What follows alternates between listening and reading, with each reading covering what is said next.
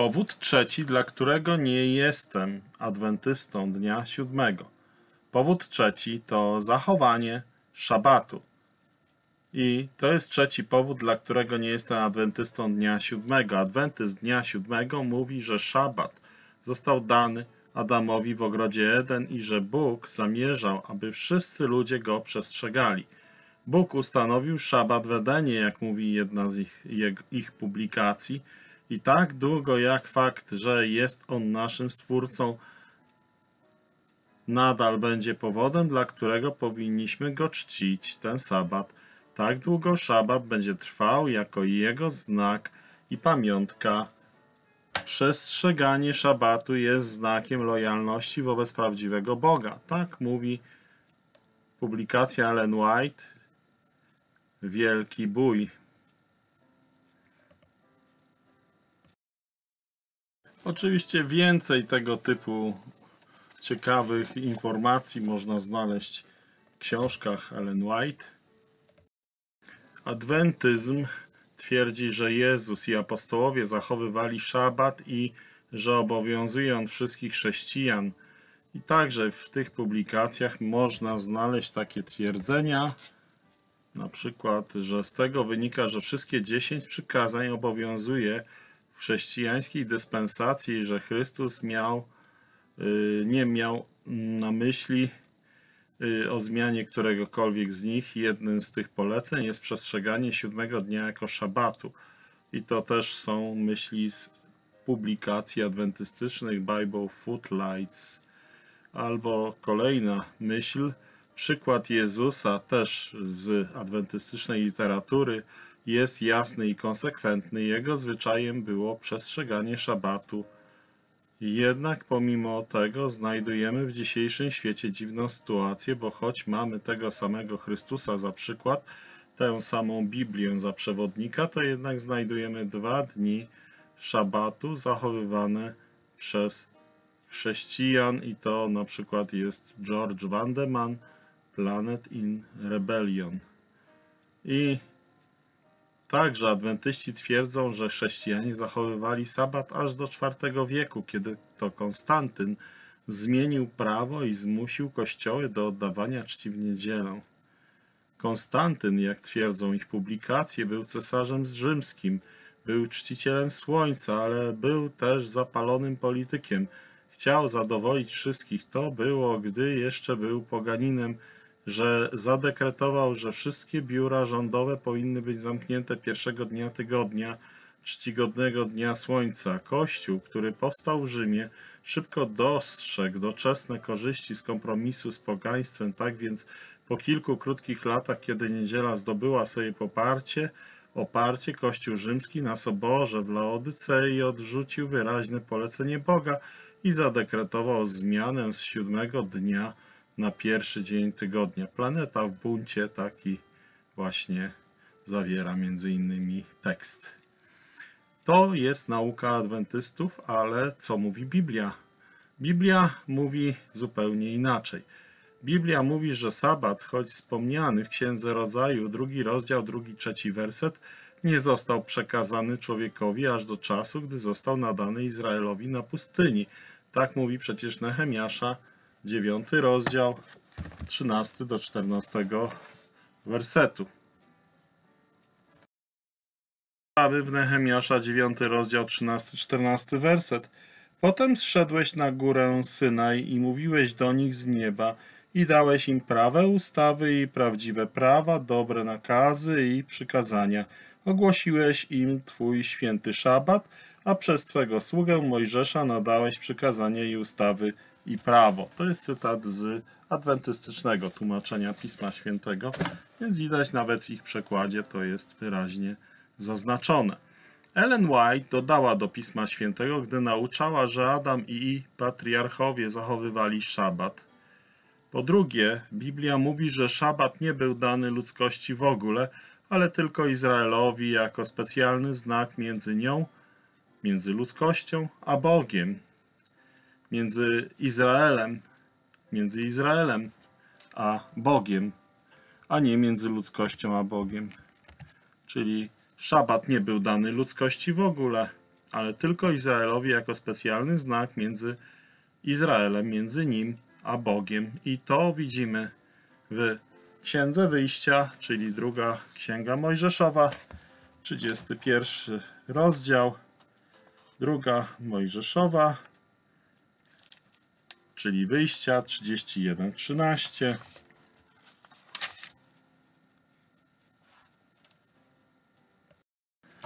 A ty powiedz synom izraelskim, mówiąc doprawdy będziecie przestrzegać moich szabatów, bo to jest znakiem między mną a wami po wszystkie wasze pokolenia, abyście wiedzieli, że ja jestem Pan, który was poświęcam.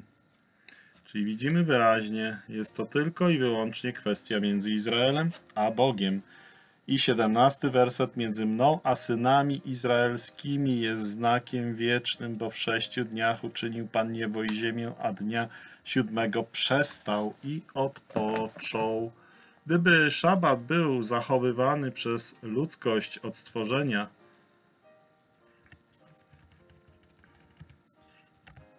nie mogłoby być dane jako specjalny znak dla Izraela, bo przecież cała ludzkość by miała wtedy ten znak. Cóż za niedorzeczne nauczanie adwentystów.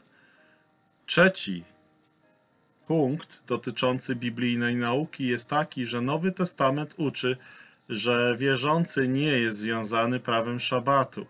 I to jest wyraźnie powiedziane innymi w Kolosan, drugi rozdział, 16-17 werset, też przeczytam z Biblii adwentystycznej, czyli Kolosan, drugi rozdział, werset 16.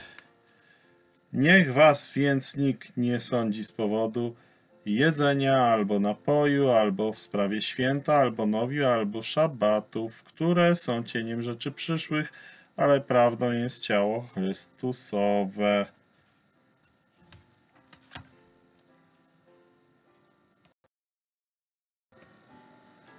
Po czwarte, co mówi Słowo Boże? Słowo Boże mówi, że szabat był typem zbawienia i tak mówi nam list do Hebrajczyków, czwarty rozdział, do 9 do 10 wersetu. Pozostaje więc odpoczynek dla ludu Bożego, bo kto wszedł do jego odpoczynku, ten też przestał od swoich dzieł, jak Bóg od swoich. Tak jak Bóg odpoczął siódmego dnia od swojego dzieła stworzenia, taki wierzący dzisiaj odpoczywa w ukończonym dziele Chrystusa. Aby wejść do Bożego odpoczynku, człowiek musi przyjąć dzieło Boże i musi zaprzestać swojej własnej pracy, jak mówi nam Ewangelia Jana, szósty rozdział, 28 werset. Też przeczytam z Biblii Adwentystycznej, jeśli mi się uda tutaj w miarę szybko znaleźć 6, 28, 29. Powiedzieli więc do niego, co mamy czynić, abyśmy wykonywali dzieło Boże? Odpowiedział Jezus i rzekł im, to jest dzieło Boże, abyście wierzyli w tego, którego On posłał. Czyli co jest dziełem Bożym? Wierzyć w Jezusa. Zbawienie musi być przyjęte jako dar Boży. Po piąte, Biblia mówi, że Jezus zachowywał szabat, ponieważ urodził się pod prawem, aby wypełnić wymagania prawa. I to przecież mówi list do Galacjan, czwarty rozdział, list do Galacjan, czwarty rozdział, czwarty werset. Galacjan 4:4.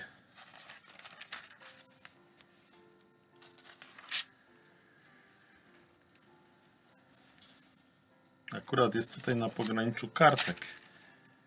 Ale gdy przyszło wypełnienie czasu, posłał Bóg swego syna, który się narodził z kobiety i podlegał prawu, aby wykupić tych, którzy byli pod prawem, abyśmy usynowienia dostąpili.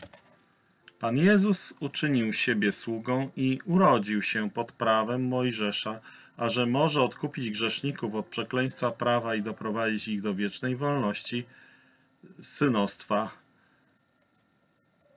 Więc tutaj to jest podstawa, że Pan Jezus uczynił siebie sługą i urodził się pod prawem Mojżesza.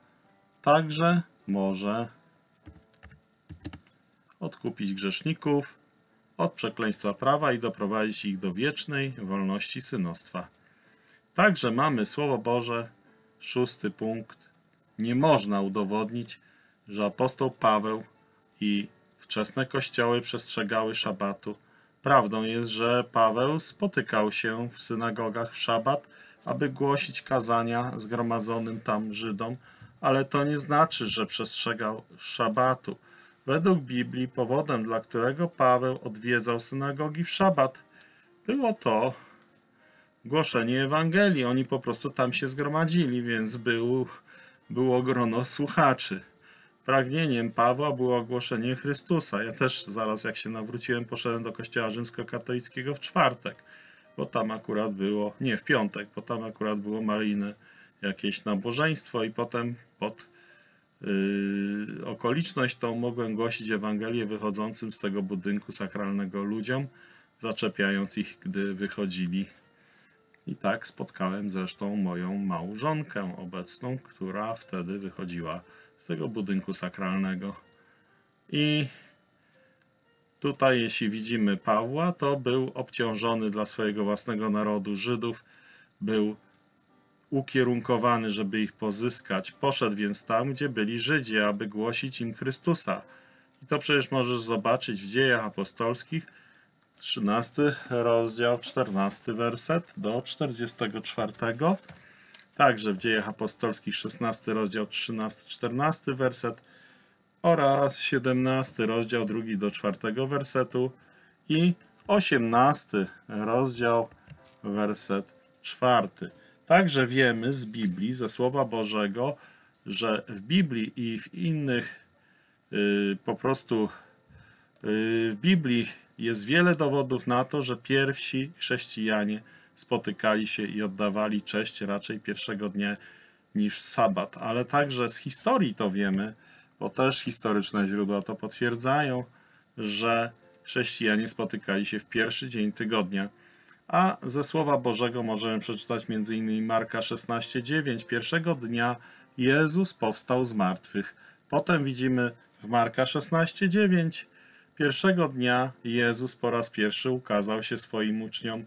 Potem mamy pierwszego dnia Jezus spotkał się z uczniami w różnych miejscach, o czym uczy nas Ewangelia Marka 16, 9 do 11, także Mateusza 28 od 8 do 10 i Łukasza 24, 34 oraz Marka 16, 12 do 13 i Ewangelia Jana 20 rozdział od 19 do 23 wersetu. Pierwszego dnia Jezus pobłogosławił uczniów, mówi nam Ewangelia Jana, 20 rozdział, 19 werset.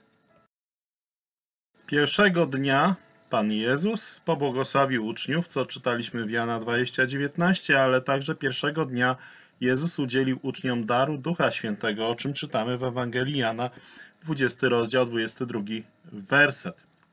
Także wiemy, że pierwszego dnia Jezus zlecił uczniom głoszenie Ewangelii, co mamy do przeczytania w Ewangelii Jana 20 rozdział 21 werset, a także jeśli porównasz to z Marka 16 rozdział 9 do 15 wersetu, to to dokładnie zobaczysz. Także pierwszego dnia Jezus stąpił do nieba, zasiadł po prawicy Ojca i został uczyniony głową wszystkich. Tak mówi nam Ewangelia Jana 20 rozdział 17 werset oraz Efezjan pierwszy rozdział 20 werset. Pierwszego dnia po raz pierwszy została wygłoszona Ewangelia o zmartwychwstałym Chrystusie, bo tak mówi nam Łukasza 24:34. A także pierwszego dnia Jezus wyjaśnił uczniom pisma, o czym mówi nam Ewangelia Łukasza 24 rozdział 27 werset oraz 45 werset. Także możemy zauważyć, że Duch Święty także potwierdzał pierwszy dzień Pierwszego dnia stąpił Duch Święty, o czym czytamy w Dziejach Apostolskich, drugi rozdział, pierwszy werset. Pięćdziesiątnica przypadała na pięćdziesiąty dzień po sabacie, po ofiarowaniu. I tutaj widzimy, możesz przeczytać w czwartej, w trzeciej Mojżeszowej, czyli w Księdze Kapłańskiej, trzeciej Mojżeszowej, 23, 15, 16, co tutaj widzimy, i odliczycie sobie od pierwszego dnia po szabacie, w którym przyniesiecie snop w celu dokonania obrzędu kołysania, siedem pełnych tygodni, aż do następnego dnia po siódmym tygodniu odliczycie 50 dni i złożycie nową ofiarę z pokarmów dla Pana. To czytałem z adwentystycznego przekładu Biblii. Tak więc pięćdziesiątnica była zawsze w niedzielę.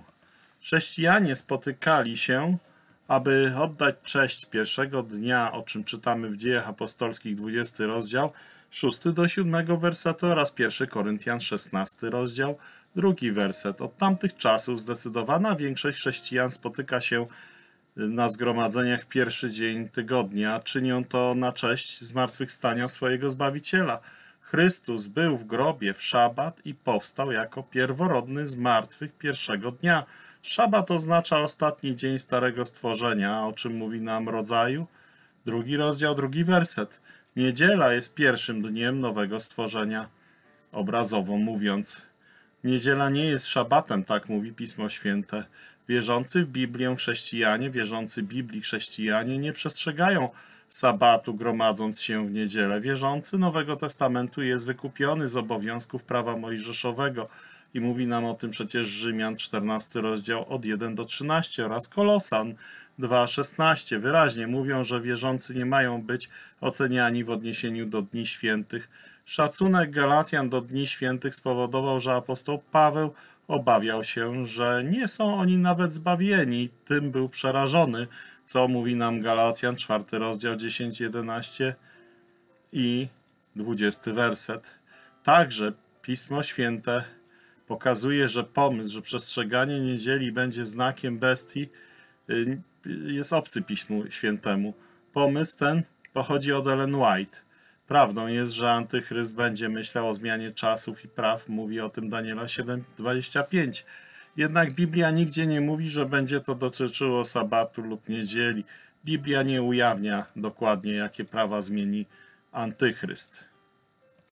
Mało tego, o antychryście możemy domyślać się, że będzie wielkim zwolennikiem soboty, bo Pan Jezus powiedział, aby ucieczka wasza nie przypadała w sabat, kiedy antychryst, człowiek grzechu, zasiądzie w świątyni Bożej, podając się za Boga, a więc to jednoznacznie pokazuje nam, że wtedy, pod koniec Starego Przymierza, właśnie człowiek grzechu będzie szczególnie pilnował przestrzegania sabatu, albo w jakiś inny sposób ta informacja od Pana Jezusa, abyśmy się y, tutaj y, przyjrzeli temu, że wierzący tamtego czasu mają się modlić, aby ich ucieczka nie przypadła w sabat, jest taką wskazówką. Więc oczywiście to już będzie po pochwyceniu Kościoła i żadnego chrześcijanina wtedy już nie będzie na ziemi. Natomiast będą wierzący, którzy uwierzą w czasie siedmioletniego ucisku, w czasie 70 tygodnia Daniela.